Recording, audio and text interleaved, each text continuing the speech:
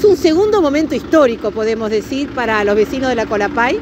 El primer momento histórico para recordar es cuando asumimos la gestión con el intendente Nicolás Olivera y él firma la resolución en el primer mes de, gestión de mm, dar la luz acá a, este agrupamiento humano de la Colapay eh, y dar el agua, colocar una bomba que ahí vemos al fondo y manejar este, ese servicio de agua porque creemos que acá no, no tenían agua y no tenían luz. O sea, dimos la luz, censamos a la familia, tienen su contador y este, habilitamos esto con una bomba, una inversión muy importante que se hizo en el inicio de la gestión. Eh, en enero del, 2021 em, nos comprometimos junto a OCE llevar adelante que el agua llegue a la puerta del hogar de cada vecino, porque hay vecinos que que, están más lejos, entonces, bueno, por, distintas dificultades mayores o dificultades no podían acceder.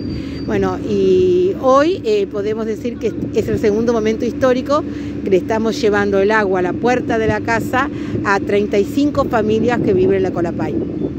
Cabe destacar, este, agradecer a los vecinos este, por la paciencia que han tenido en esperar eh, en este derecho fundamental que tienen de acceso al agua. Eh, agradecer al alcalde John Cáceres que nos permite, porque no teníamos la máquina, estaba rota la nuestra, la que tiene el municipio. Agradecer al alcalde John Cáceres que nos prestó la retroexcavadora para poder dar inicio hoy. Eh, también este, la semana que viene otro municipio nos colaborará con la retro. ¿ah? Así que bueno, esta obra eh, que favorece a 35 familias, eh, pensamos que va a tener entre 10 días y 15, 20 días de duración. La situación de nosotros era, no sé cómo nombrarla, pero era una cosa que era muy preocupante para todos los vecinos. Y bueno, y ahora que con este logro estamos tan ilusionados que ni hablar puedo, pero digo, la pasamos mal, la pasamos mal porque más el tema del verano con los chiquilines y todo, pero bueno, está.